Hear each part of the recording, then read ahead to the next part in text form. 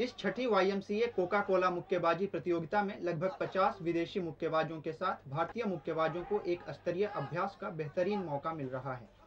Asiad से पहले जहाँ डिंको सिंह की पहचान इसी प्रतियोगिता से बनी थी, कल एक और भारतीय मुक्केबाज सुरेश ने कॉमनवेल्थ खेलों के स्वर्ण पदक विजेता सैपोक को हराकर एक करिश्मा सा कर दिया। अब जहाँ सबकी निगाहें सिडनी ओलंपिक पर है, वहीं इन प्रतिभाशाली खिलाड़ियों को और भी अभ्यास की ज़रूरत दिखती है।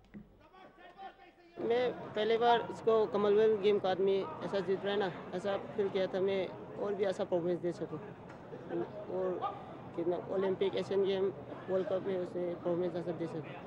मतलब मैंने इस इधर में पहली बार सीनियर में आया ना, इसलिए फील किया मैंने। कंपटीशन थोड़ा कम है।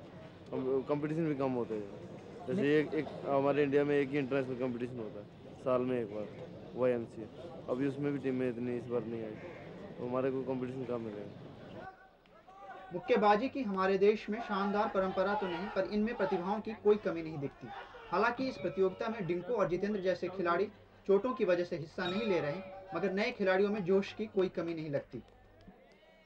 हम तो कोशिश करेंगे ओलंपिक 2000 में एक मेडल एक मेडल ज़रूर जीत जाएँगे एक गोल्ड मेडल। और ये तो हमारा अभी ये मोटो जो है अभी होने वाला है क्योंकि डिंको सिंह में हमें बहुत कॉन्फिडेंस है। हमारा इतना कवरेज करते तो हैं लेकिन इतना करते नहीं हैं दिखाते नहीं हैं मतलब करते तो हैं लेकिन अभी तो कर रहे हैं लेकिन जैसे पहले तो कभी दिखाया भी नहीं हमारा नेशनल गेम्स में भी।